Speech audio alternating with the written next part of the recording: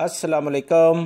آج سولہ جون دو ہزار بیس ہے۔ پچھلے چوبیس گھنٹے میں سعودی عرب میں چار ہزار دو سو ستاسٹھ یعنی فور ٹو سکس سیون نئے کیسز ریکارڈ ہوئے ہیں۔ اس طرح سے ٹوٹل مریضوں کی تعداد سعودی عرب میں ایک لاکھ چھتیس ہزار تین سو پندرہ ریکارڈ ہو چکی ہے۔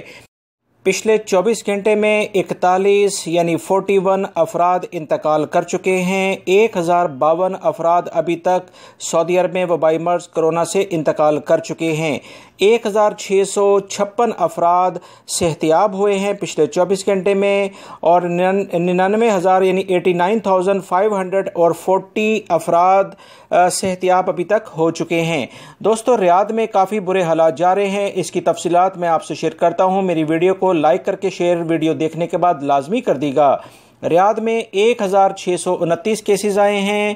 جدہ میں چار سو ستر مکہ المکرمہ دو سو چوبیس، حفوف دو سو، دمام ایک سو بنوے خوبر میں ایک سو بتیس، قطیف میں ایک سو سولہ، مدینہ منورہ میں سو ہیں، خمیس مشید پچانوے، الموبرز میں اسی، ابھا ستتر، الخرج اکہتر طائف میں پینسٹھ اور بریدہ میں چھپن، جبیل چھپن، دریا میں چون، صفا پچاس، وادی دواسیر اکتیس، نجران چوبیس، یمبو بائیس، حائل میں بائیس المزاہمیہ بھی بائیس، بیشا کے علاقے میں اٹھارہ، الرس سترہ، العنیزہ کے علاقے میں سترہ ہرمیلا سترہ، الدائر سولہ، الدرب پندرہ، جزان چودہ، ہوتا بن تمیم چودہ محائل اسیر تیرہ، شرورہ بارہ، المجمع بارہ اور کویہ کے علاقے میں بارہ اور نیمرا کے علاقے میں بھی گیارہ کیسز سامنے آئے ہیں۔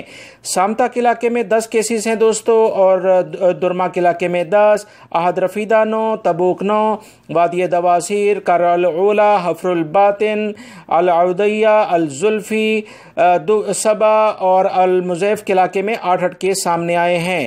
اس کے علاوہ ظلم، الممر، زہران الجنوب، خفجی، زہران، بیش لیلہ العیون، ان سب میں چھ چھ کیسز سامنے آئے ہیں۔ where البہا البکریہ الحجرہ راستنورہ القوا ان علاقوں میں پانچ پانچ کیسز سامنے آئے ہیں۔ مزید بہت سارے شہر ہیں دوستو جہاں پر ایک ایک دو دو کیسز ہیں۔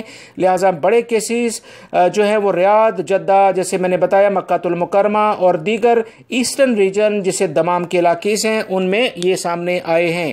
بہت احتیاط کریں، کیونکہ وبائی مرض کافی شدت اختیار کرتا جا رہا ہے۔ اکتالیس افراد جو انتقال کر گئے ہیں، اللہ رب العزت انہیں جنت میں اعلیٰ مقام عطا فرمائے السلام علیکم۔